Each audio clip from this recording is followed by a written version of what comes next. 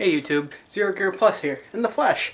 Um, I remember, if I do believe, um, a while back I told you guys that I'd be doing, alongside my, um, my video game walkthroughs, that, um, I'd also be doing some sword demos. And, um, when I told you this, it was kinda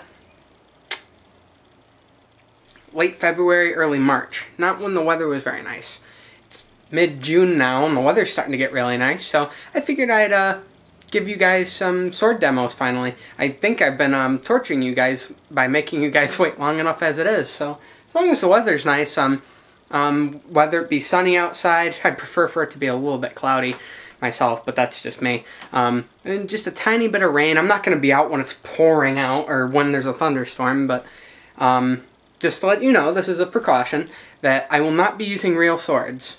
In fact, I have one sword, and it's a replica, so, so, it's technically not real, but it is made of metal, so that's kind of a treat for you guys. Um, while I'm here, why don't we meet the family, shall we? Okay. Um, here we go. There he is. Oh, actually, he's over here. Hold on. Okay. This, these are all makeshift weapons except for the guy over there I'll be showing you last. This is, this is a dirk, or a dagger, depending on how you look at it. Um, just basically a knife, nothing more. It's wooden dowel rod and electrical tape all the way. Yeah, talk about makeshift. This kind of the same thing. It's a little bit longer. This is what they call a main gouge. This is used with uh, French or Spanish rapier. Um, it's um, dual hand combat, and um, I'll be showing you the rapier right now. This is my rapier. This is also, oh, along with this, they're all dowel rod, electrical tape. Oh, the, um, rapier, um, good solo, even better with the main gouge. So that's kind of how it's used. I'll be using them both interchangeably. Um, I out some videos I might just use the gouge, others just the rapier, sometimes maybe both. I don't know, we'll worry about it when we get there. Now we start getting into the good ones. This is my katana. A little bit short to be a real katana. I consider it a kodachi myself, which is a basically a generically shorter katana. So, without further ado. Now, this one I didn't make myself. This I actually bought online.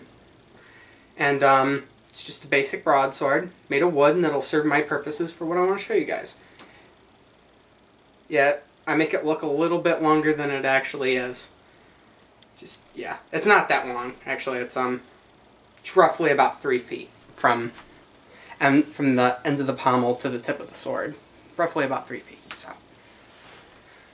And that's all for my makeshift weapons. Now over here, uh, ah, okay. We have my claymore. Now some of this might, might, some of you might find this very familiar. This is um, Connor MacLeod's weapon, his claymore from the um, 1986 Highlander film. Um, if you haven't noticed already, I've um, in some places like um, in Soul Blazer, for instance, I named my main character Connor. That's my first name. This is where I got my first name, the 1986 Highlander film. So this is technically my sword. Think of it how you want to think about it, but this is a really cool sword nonetheless. It's a two-handed sword, and I'll probably be using it quite often. So, that's all for, um, that's all for me. I'm probably going to start filming really, I'll probably even start now. Or, couple episodes different from just disregard that last thing I said there. But as long as the weather's nice or just a tiny bit cloudy, I'll probably be outside. So expect to see me um, posting videos quite a bit. So have a nice day.